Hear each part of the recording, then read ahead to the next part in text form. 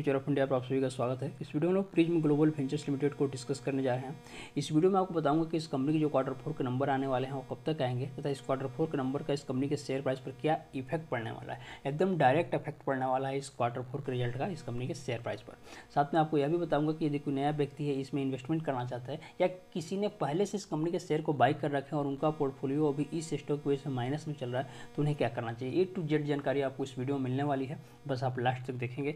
चलिए शुरू करते हैं इस वीडियो को देखेंगे। लास्ट ट्रेडिंग सेशन के दौरान तकरीबन दो रुपये बारह पैसा पर स्टॉक ने अपना क्लोजिंग दिया हुआ भी डेढ़ परसेंट के आसपास गिरावट के साथ। अब देखिए प्रीजम ग्लोबल एक ऐसा स्टॉक है जिसमें देखेंगे, मान लीजिए आज इस स्टॉक में गिरावट हो रही तो अगले दिन देखेंगे, फिर ये स्टॉक थोड़ा बहुत चढ़ जाएगा। फिर उसके अगले दिन देखेंगे स्टॉक थोड़ा बहुत गिर जाएगा, उसके अगले दिन आप पाएँगे कि फिर थोड़ा सा चढ़ गया है।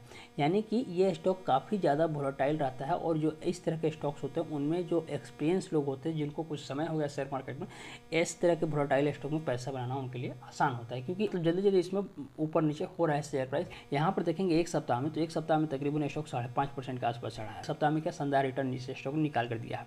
हालाँकि एक मंथ में भी देखेंगे तो एक मंथ में भी स्टॉक अच्छा खासा चढ़ा है। तकरीबन बत्तीस परसेंट के आसपास से स्टॉक चढ़ा है। क्या शानदार तेज़ी यहाँ से आपको देखने को मिली है सिक्स अप्रैल के बाद से। लेकिन यहाँ पर देखेंगे बीस अप्रैल के बाद से तो स्टॉक ठहर सा गया है। ऐसा लग रहा है कि रेंज अमाउंट में स्टॉक घूमते हुए नज़र आ रहा है। खैर, इसके बारे में आगे बात होगी। पिछले सिक्स मंथ में देख लीजिए तो सिक्स मंथ में स्टॉक तकरीबन इकतालीस बयालीस परसेंट के आसपास टूटा है। एक लंबी अवधि में स्टॉक नीचे ही आया है। हालाँकि यहाँ से जैसे मैंने बताया कि सिक्स अप्रैल के बाद से स्टॉक थोड़ा बहुत ऊपर जाते हुए दिखा है। तो जैसे ही अभी कुछ समय तक और तेज़ी बरकरार रहेगी तो ये सिक्स मंथ का जो रिटर्न यहाँ पर आप देख रहे हैं, इकतालीस परसेंट के आसपास माइनस में तो ये भी अच्छा खासा ग्रीन में हो जाएगा यदि कुछ समय तक और तेज़ी बरकरार रहती है तब। अब यहाँ पर हम लोग प्रीज्म ग्लोबल वेंचर्स लिमिटेड के काम और फंडामेंटल को डिस्कस करते हैं। तो कंपनी क्या काम करती है, आप देखेंगे यहाँ पर स्पष्ट रूप से लिखा हुआ है कंपनी ट्रेडिंग का बिज़नेस करती है। देखिए जहाँ जहाँ ट्रेडिंग शब्द आपके दिमाग में आए एक बात आप समझ जाए समझ जाइएगा कि ट्रेडिंग का बिज़नेस करती है, यानी कि किसी चीज़ या प्रोडक्ट में ट्रेडिंग करती है या उस चीज़ या प्रोडक्ट का खरीद और फरोख्त करती है। तो किस चीज़ का कंपनी पर ट्रेडिंग करती है? तो आप स्पष्ट रूप से देख पाए कंपनी कमोडिटीज़ में फाइनेंस में स्पोर्ट्स और इंटरटेनमेंट एक्टिविटीज़ में इन्वॉल्व है, यानी कि इन सारी चीज़ों में कंपनी पैसा लगाती है और इससे पैसा बनाती है। तो ये जो कंपनी का काम है, ये फ्यूचरिस्टिक पॉइंट ऑफ़ व्यू से काफ़ी बढ़िया है, यानी कि फ्यूचर में इस काम की वजह से कंपनी का ग्रोथ हो सकता है। अब फंडामेंटल की बात करते हैं तो देखिए, आपको मैंने बताया है कि किसी भी कंपनी के, यदि पेनी स्टॉक की बात करते हैं तो उसका मार्केट कैप यदि सौ करोड़ रुपए के आसपास है तो उससे अच्छा माना जाता है। तो यहाँ पर आप देखेंगे, इस कंपनी का जो मार्केट कैप है, वो तकरीबन तिरानवे करोड़ के आसपास है, यानी कि सौ करोड़ के आसपास पहुँचने वाला है। और आपको पता है, जैसे जैसे शेयर का प्राइस बढ़ता है तो मार्केट कैप में भी बढ़ोतरी आती है। तो बहुत जल्द इस कंपनी का मार्केट कैप सौ करोड़ के आसपास जाते हुए आपको दिख सकता है। शेयर प्राइस देखेंगे तो बुक वैल्यू के आसपास है, ये भी ठीक है। रिटर्न ऑन इक्विटी और रिटर्न कैपिटल काफ़ी कम है। हालाँकि माइनस में नहीं, ये सुकून देने देने वाली बात है, क्योंकि ज़्यादातर पेनी स्टॉक आप देखेंगे आर और आर माइनस में होता है। उसके हिसाब से तो ये बढ़िया ही है एक साल के चार्ट पर आप देखेंगे तो पाएँगे कि काफ़ी दिनों से इस कंपनी का जो शेयर प्राइस तीन रुपए से लेकर दो रुपए के बीच में ही स्टॉक एक रेंज बाउंड में फंसा हुआ दो रुपए से तीन रुपए के आसपास। दो रुपए के आसपास जो इसका एक मतलब सपोर्ट है, यहीं पर इसका प्राइस ठहरा हुआ है।